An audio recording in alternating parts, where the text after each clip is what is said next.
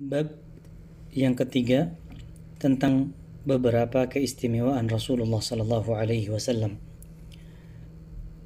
Penulis hafizahullah taala menyebutkan di dalam bab ini 13 pembahasan penting berkenaan dengan keistimewaannya Rasulullah sallallahu alaihi wasallam. Pembahasan yang pertama, beliau Rasulullah sallallahu alaihi wasallam diutus dengan agama yang lurus dan toleran Al-Imam Ibn Al-Qayyim rahimahullah ta'ala pernah berkata beliau maksudnya adalah Rasulullah sallallahu alaihi wasallam menggabungkan antar agama yang lurus dan toleran lurus dalam memurnikan tauhid dan toleran dalam perkara akhlak. Lawan dari kedua hal ini adalah syirik dan mengharamkan yang halal. Pembahasan kedua tentang diutus kepada bangsa jin dan manusia. Artinya Rasulullah Sallallahu Alaihi Wasallam diutus kepada bangsa jin dan manusia. Beliau Sallallahu Alaihi Wasallam dahulu pernah bersabda, Nabi terdahulu diusus, diutus khusus kepada kaumnya saja, sedangkan aku diutus kepada seluruh manusia. Pembahasan Ketiga, tentang kitab dan dakwahnya.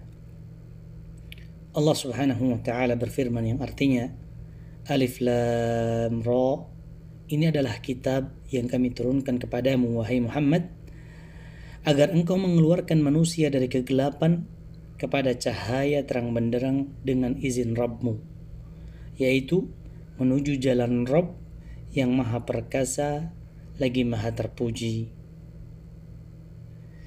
Pembahasan keempat tentang mukjizatnya. Mukjizat terbesar beliau sallallahu alaihi wasallam adalah Al-Qur'an. Dan tidak ada mukjizat yang diberikan kepada rasul atau nabi sebelumnya kecuali beliau sallallahu alaihi wasallam memiliki bagian dari mukjizat tersebut. Pembahasan kelima tentang mencintainya bagian dari agama. Beliau sallallahu alaihi wasallam bersabda, Tidaklah beriman salah seorang di antara kalian sampai aku lebih ia cintai daripada anaknya, orang tuanya dan seluruh manusia. Pembahasan keenam tentang hukum membenci Rasulullah sallallahu alaihi wasallam. Kata penulis, Hafizahullah Ta'ala, hukum membenci Rasulullah Sallallahu Alaihi Wasallam adalah perbuatan kekufuran yang besar. Allah Subhanahu wa taala berfirman yang artinya sesungguhnya orang-orang yang membencimu dialah yang terputus dari rahmat Allah Subhanahu wa taala. Pembahasan yang ketujuh Beliau adalah kekasih Allah Subhanahu wa taala.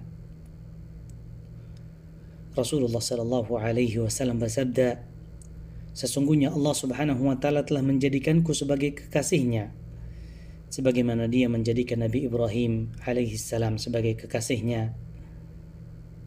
Pembahasan ke-8 Beliau adalah salah seorang ulul azmi. Allah Subhanahu wa taala berfirman yang artinya dan ingatlah ketika kami mengambil perjanjian dari para nabi dan dari engkau dari Nuh, Ibrahim, Musa dan Isa putra Maryam. Pembahasan kesembilan tentang ilmunya sallallahu alaihi wasallam. Rasulullah Sallallahu Alaihi Wasallam bersabda, Sesungguhnya aku adalah orang yang paling berilmu di antara kalian tentang Allah Subhanahu wa taala.